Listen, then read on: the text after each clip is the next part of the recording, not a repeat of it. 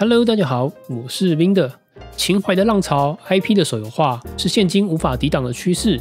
有正版授权，也有假装的正版授权，当然也有另辟蹊径，用不同的方式诠释的。吉无双二，开发商是中国的泰和互动，主要的投资公司为英雄互娱，而台湾代理就是英雄互娱的子公司迪诺游戏。英雄互娱这间公司本身也有很多借鉴的事迹。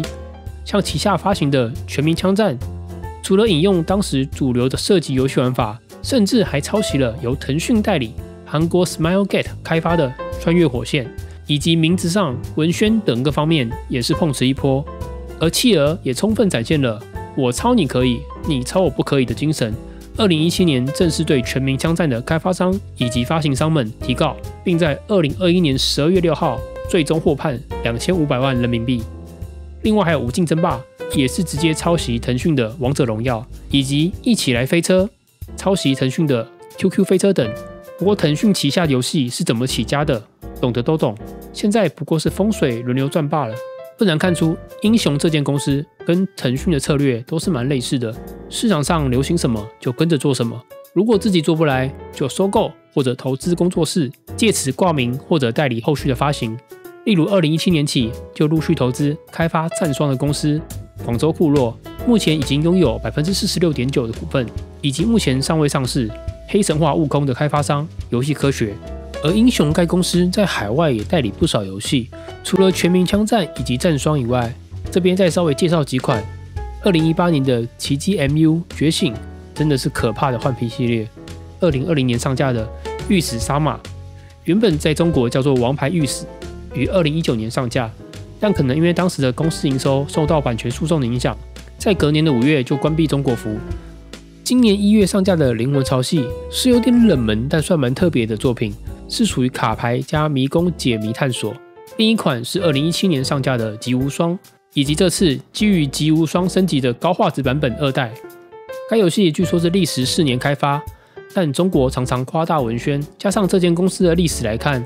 这点我是蛮疑惑的。该系列有无双两个字，很明显是要碰瓷《三国无双色》系列，但内容其实没有太多关系。这款游戏除了游戏开头看起来很厉害以外，其他真的没什么亮点了。优化上没有很好，会不定时给你卡顿一下。界面、美术、建模就是换皮手游的风格。玩法上就是一款套着三国皮的 MMO 手游，有扫荡，有自动寻路，有自动打怪，有各种一键操作以及战力系统，真的就是把常见的中国手游那套复制贴上。登录的时候还会弹个首充奖励广告，看到这个一整个乐色感就上来了。要不是还有三国的人物跟剧情，不然这款游戏跟其他换皮手游根本一模一样。如果再来一个大翅膀跟闪亮称号，就一星好评了。也完全没有打击感，就是看特效放好放满。游戏建模非常一般。唯一能看的女角应该就是孙尚香了。至于大乔、小乔，可能都得罪美工了。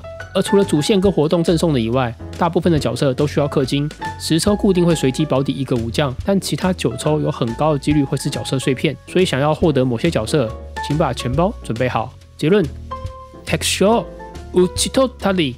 如果是想玩《三国无双》这系列的玩家，应该都是想享受快乐砍人的割草感，但在这款上面，你应该是体验不到。其实这款的本质就跟之前上架的那款光荣正版授权，但是是由中国开发的真三国无双霸一样，基本上都是沦为片刻的工具用。而你要玩无双系列，除了电脑跟主机版以外，日版其实也有原厂自己开发的真三国无双手机版，以及在哪天可以出个中文版，让玩家能真正体验到原汁原味的正版授权。今天的影片就到这边，我是林德，我们下次见，拜拜。